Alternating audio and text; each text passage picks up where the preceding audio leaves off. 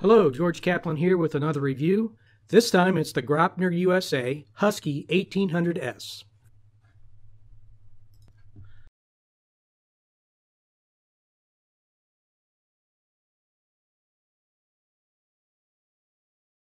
The Husky is a foam ARF with carbon fiber strengthening throughout.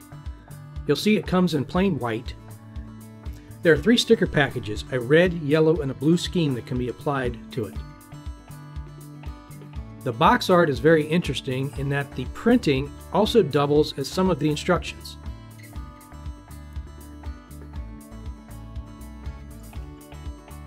Speaking of instructions, a manual is included with both written and illustrated diagrams for each step.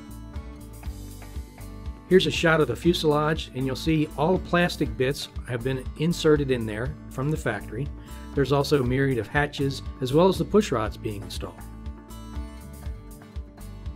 Up front, the power comes from this electric brushless motor.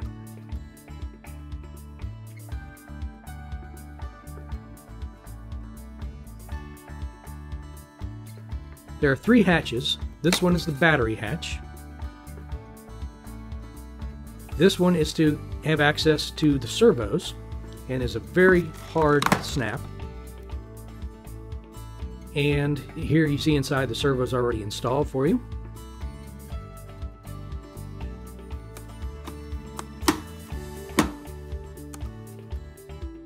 And on the side is another hatch that can be pulled with this little tab. It's where the receiver is installed, plus there's a spot you can see above the receiver to install servo if you wanted to use the Husky for towing gliders.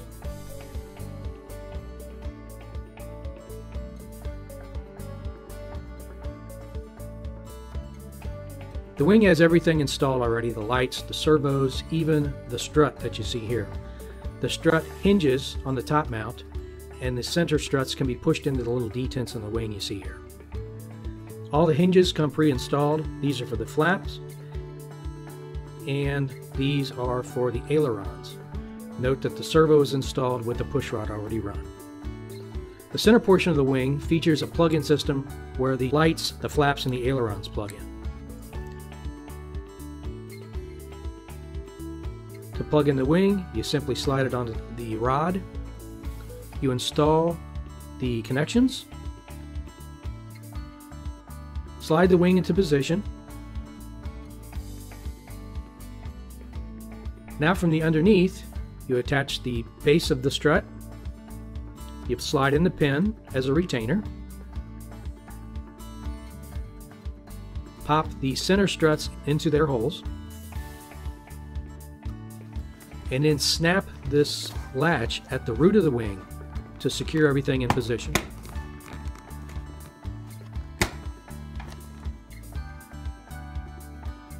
Nav lights come pre-installed and are already wired. Here you see the ones that are on the starboard wing, and these are on the port wing.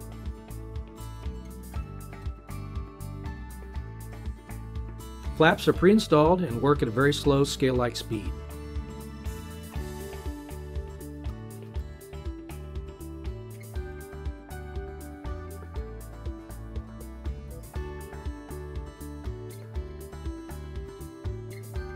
These are the main gear with wheel pants that come with it.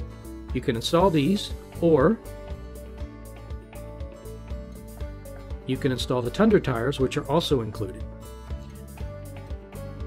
If you want to go a different route, you can install these floats. These are an optional accessory. And there's also skis which can be installed, which you'll see later on in one of the flight videos.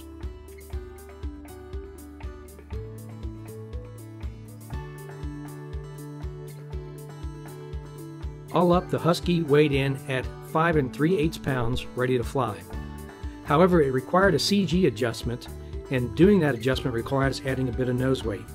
The finished all-up weight with the correct CG came in at 6 pounds, and was still a great flying airplane.